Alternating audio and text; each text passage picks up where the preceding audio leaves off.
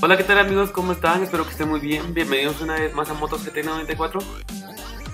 Y bueno, como están viendo, hoy les traigo eh, las primeras impresiones de la Freedom Explorer 150. Así que empecemos.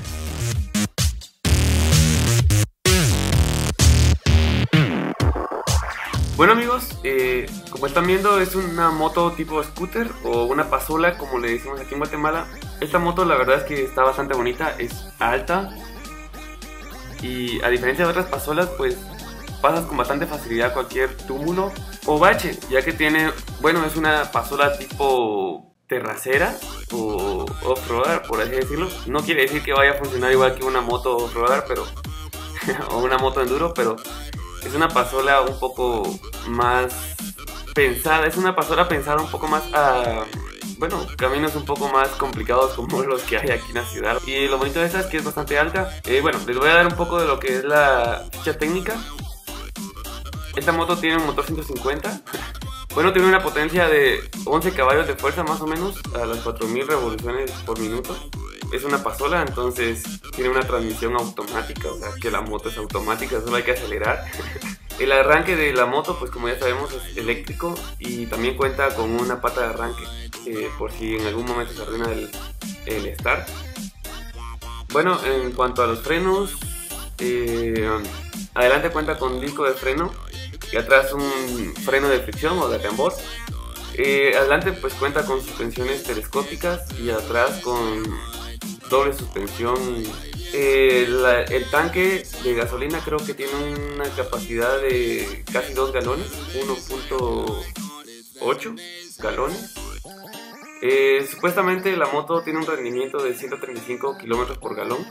Eh, faltaría hacerle un poquito más de pruebas. Como les digo, son solo las primeras impresiones. Los neumáticos, como les digo, son un poco más gruesos de lo normal de las pasolas. Está bonito, no me recuerdo muy bien cómo son las medidas. Y bueno, la moto está disponible en, roja, negra, negro mate, como esta es negro mate, está bastante bonita. no, se parece mucho, bueno, por el estilo que tiene y por el color así negro mate, se me imagina un poco a la de Batman. Y la verdad es que está muy bonita la moto. También está en color blanca y bueno, eh, eso es en cuanto un poco así las características de la moto. La verdad es que se siente potente, desarrolla bastante rápido, bueno, era lógico porque es una pasola. Eh, una cosa que lo que más me llamó la atención y lo que me gustó de esta moto fueron sus retrovisores, que son muy bonitos. A diferencia de otras pasolas que la tienen bastante feas los retrovisores, pero esta la tiene bonitos y eso me gustó. Pase, pase. Bueno. Eh, cuenta también con eh, protectores de aire o protectores de, manos aquí en el timón. Eh, la capacidad que tiene abajo del baúl, abajo del sillón, es pues cabe perfectamente en casco. Eh, tiene aquí abajito del timón un lugar para colocar cualquier cosita. Yo he colocado ahí el teléfono. ¿Qué más? ¿Qué más? ¿Qué más? Bueno, de momento solo eso. La verdad es que está bastante cómoda la, moto. muy sencilla. Ah, cuenta con luces intermitentes. Eh, no me refiero a los, a los piderías, sino que aparte cuenta con las luces de alerta o de precaución, las que se prenden los dos piderías. Bueno, ya me entendía. bueno, se parece bastante a la pasola de Yamaha, la BWS.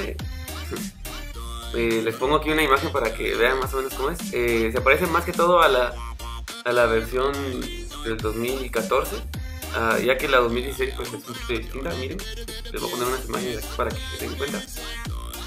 Bueno, eh, como están viendo el tablero es totalmente análogo, no tiene nada digital.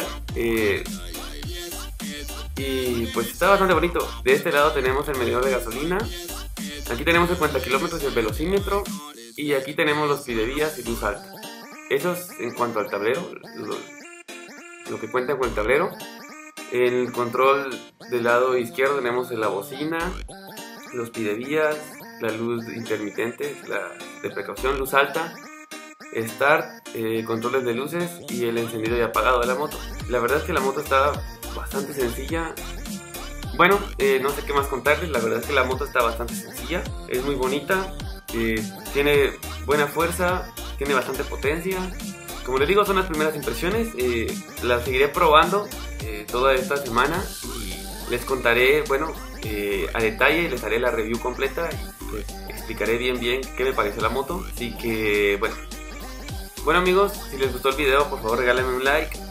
Por aquí les dejo mis redes sociales en la pantalla para que vayan y me sigan. Eh, cualquier duda, sugerencia, comentario que tengan, pues me lo pueden ir a hacer por Facebook, ahí les contesto mucho más rápido. Luego podrían preguntar también por Twitter, que ahí también contesto. O bien dejarme los comentarios aquí abajo en la descripción. Eh, cualquier duda, sugerencia, comentario, pues también la pueden dejar aquí abajo en, los comentarios. Me gustaría saber su opinión, qué les parece la moto, qué les gustó. Eh, si les gustó o no. Y bueno, en Instagram, eh, pues subo todo tipo de fotos, sobre todo a mi Instagram personal. Y no hay nada más que decir amigos. Eh, nos vemos a la próxima. ¿Cuándo? No lo sé. Cuando haya no que Hasta pronto.